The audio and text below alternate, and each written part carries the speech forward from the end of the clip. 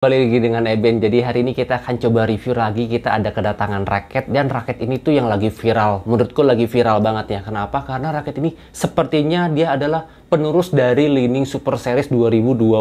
Walaupun Lining Super Series 2020 itu sudah ada yang terbarunya. Penasaran banget kita akan coba lihat raket ini kira-kira bagus atau enggak ya. Raket model terbaru sih ya. Ini dari Lining X-Force 20 Oke, kita akan coba buat drilling bebas ya.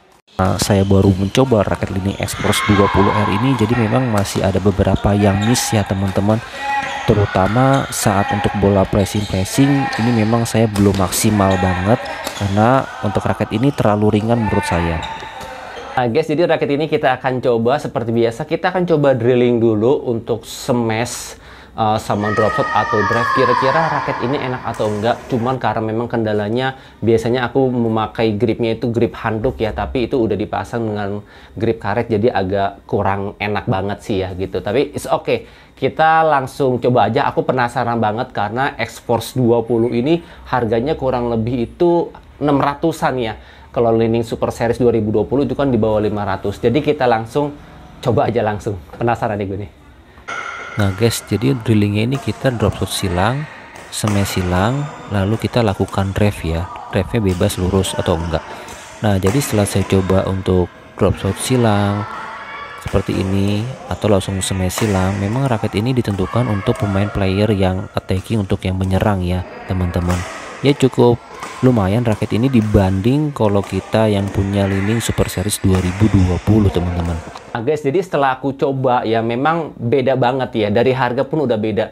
Lining Super Series 2020 dengan uh, X-Force yang 20 ini memang lebih diunggulkan dari segi semuanya itu ke X-Force 20 dan juaranya adalah X-Force 20. Jadi kalau misalkan teman-teman masih setia menggunakan Super Series 2020 kayaknya teman-teman harus upgrade sedikit deh. Dari duitnya juga harus upgrade juga karena harganya agak lumayan sedikit, uh, nambah sedikit. Tapi kalau dari kualitasnya memang ini masih lebih baik di X-Force 20 teman-teman. Yang R ya, X-Force 20 yang R. Nah, setelah aku coba buat drop shot, buat smash, dia uh, raket head heavy ini ya tapi dia ringan ya. Jadi teman-teman juga lebih enak juga kalau misalkan teman-teman yang suka banget sama raket-raket ringan head heavy tapi power kalian nggak terlalu keras ya. Tapi kalian ingin tajam nih cemesannya. Kayaknya kalian bisa pilih Xding X-Force 20 nah teman-teman jadi di sini saya coba lagi drilling penasaran ya karena tadi kita baru sekali nyobainnya jadi masih penasaran banget untuk smash-smash atau untuk drop shotnya ya. Jadi kalau teman-teman lihat memang raket ini kalau untuk yang punya power itu kurang cocok. Kenapa kurang cocok? Karena raket ini ringan ya teman-teman. Dan untuk head heavy ya sebenarnya ini udah bagus tapi ada kekurangannya juga raket ini fleksibel. Jadi kalau untuk kalian yang punya power ya lebih baik jangan lah ya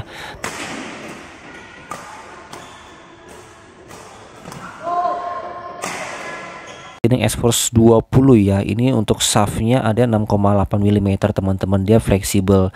Dia untuk pemain tipe penyerang atau tipe attack ya.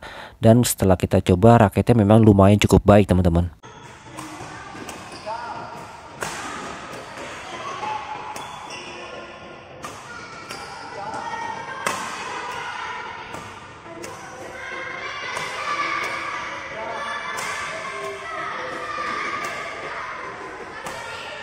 Lining Express 20 ini kita akan compare juga ya. Saya akan coba compare juga Lining Express 20 dengan raket lama saya itu dari Mizuno Bambu yang harganya kurang lebih 900 900-an.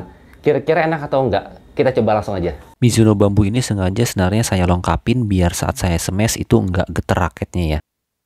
Nah guys jadi untuk Mizuno bambu ini raketnya memang dia shaftnya itu stiff ya. Jadi bagus banget kalau kalian mau main cuman aman aja ya. Main pressing aman tapi memang kondisinya kekurangan raket ini bukan raket untuk tipe-tipe penyerang teman-teman. Nah jadi tergantung kalian. Kalian mau milih yang ini X-Force 20 atau raket yang aman Biar bisa main double-nya aman aja tapi mengeluarkan tenaga terlalu banyak ya Mizuno dan setelah teman saya coba untuk raket dari Lining Exforce 20, Jayalani coba ya, dia kan punya tangan yang cukup kuat ya. Setelah dia coba untuk pegang raketnya dan dia coba coba juga untuk uh, tap-tap kayak gitu kan. Ya, raket memang bisa dibilang raket buat smash ya menurutku. Jadi masih aman kalau teman-teman mau main depan sama main belakang itu masih aman untuk Leaning X-Force 20. Tapi kalau untuk main agak pressing-pressing ini memang masih belum dapat untuk Leaning X-Force 20 ya.